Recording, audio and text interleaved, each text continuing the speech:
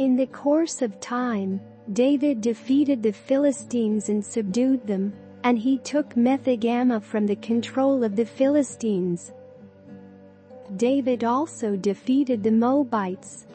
He made them lie down on the ground and measured them off with a length of cord. Every two lengths of them were put to death, and the third length was allowed to live. So the Moabites became subject to David and brought him tribute.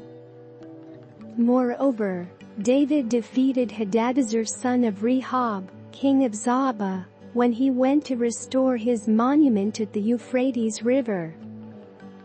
David captured a thousand of his chariots, seven thousand charioteers and twenty thousand foot soldiers. He hamstring all but a hundred of the chariot horses. When the Arameans of Damascus came to help Hadadezer king of Zobah, David struck down 22,000 of them. He put garrisons in the Aramean kingdom of Damascus, and the Arameans became subject to him and brought tribute. The Lord gave David victory wherever he went. David took the gold shields that belonged to the officers of Hadadezer, and brought them to Jerusalem. From Tebah and Berothai, towns that belonged to Hadadezer, King David took a great quantity of bronze.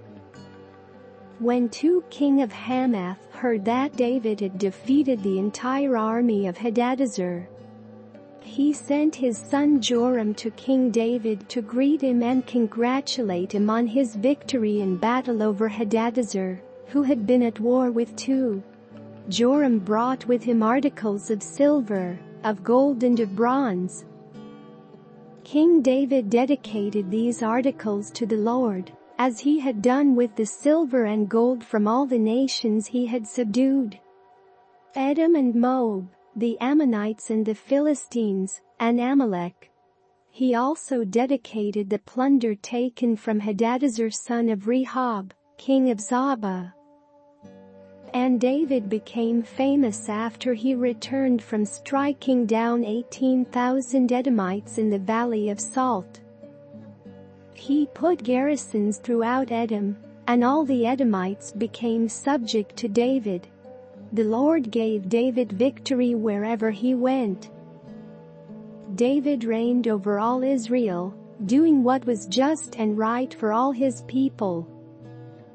Joab son of Zeruiah was over the army, Jehoshaphat son of Ahilud was recorder. Zadok son of Ahitub and Ahimelech son of Abiathar were priests, Seraiah was secretary. Benaiah son of Jehoiada was over the Kerethites and Pelethites, and David's sons were priests.